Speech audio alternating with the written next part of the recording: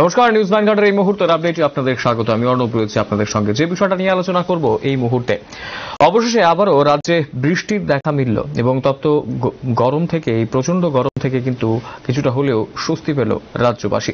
যদিও আহ, গতকালকেও কিছুটা বৃষ্টি হয়েছিল কিন্তু তারপরে খুব বেশি বৃষ্টি কিন্তু হয়নি। কিন্তু আজ সকাল থেকেই আবারও বৃষ্টির দেখা মিলল এবং যার জেরে অনেকটাই কিন্তু খুশি এবং তার পাশাপাশি অনেকটাই নিস্তার পেল, স্বস্তির নিঃশ্বাস ফেলল রাজ্যবাসী।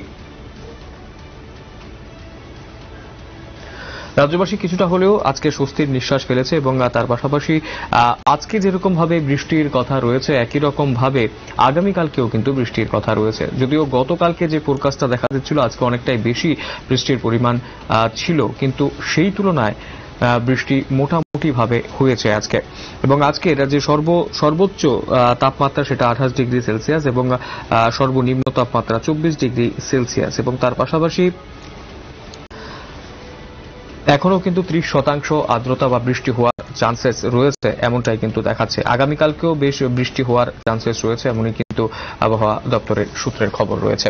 তার পাশাপাশি আজকে বৃষ্টির হওয়ার ফলে অনেকটাই কিন্তু স্বস্তির নিঃশ্বাস ফেলেছে রাজ্যবাসী। কিন্তু বিগত দিনে আমরা দেখেছিলাম কিছুটা বৃষ্টি হয়েছিল, তারপরেও যে একটা ভ্যাবসা গরম, সেই গরমটা কিন্তু রয়ে গেছিল। কিন্তু আজকের বৃষ্টি হওয়ার ফলে অনেকটাই কিন্তু সেই টেম্পারেচারটা কমেছে।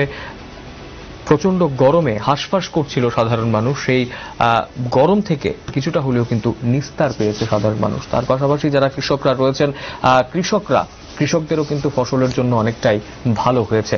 যদিও বিগত দিনে আমরা দেখেছিলাম, কৃষকরা অপেক্ষা করেছিলেন এই বৃষ্টির জন্য, কিন্তু জল নিষ্কাশনী ব্যবস্থা না থাকায় কিছু কিছু জায়গাতে কৃষকদের কিন্তু সেখানে ক্ষতির সম্মুখীন হতে হয়েছিল।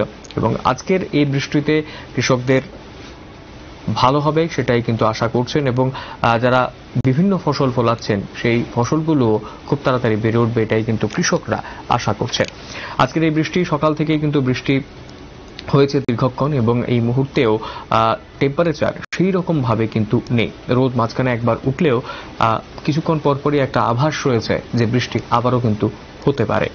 সকালবেলা বেশ ভালো করেই বৃষ্টি হয়েছে এবং আবারও বৃষ্টির দেখা মেলাতে রাজ্যবাসী কিন্তু অনেকটাই স্বস্তির নিঃশ্বাস ফেলেছেন।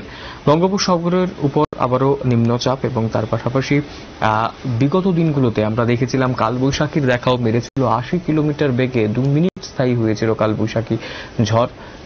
সেগুলোর পরপরই আজকের বৃষ্টি অবশ্যই স্বস্তির নিঃশ্বাস ফেলেছে রাজ্যবাসী।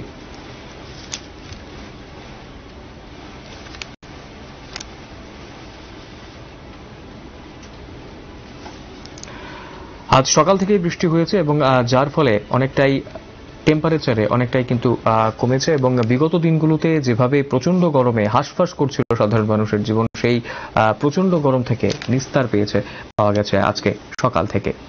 সময় ছোট্ট বিজ্ঞাপন বিরতির রয়েছে অন্যান্য সংবাদ। সঙ্গে থাকবেন।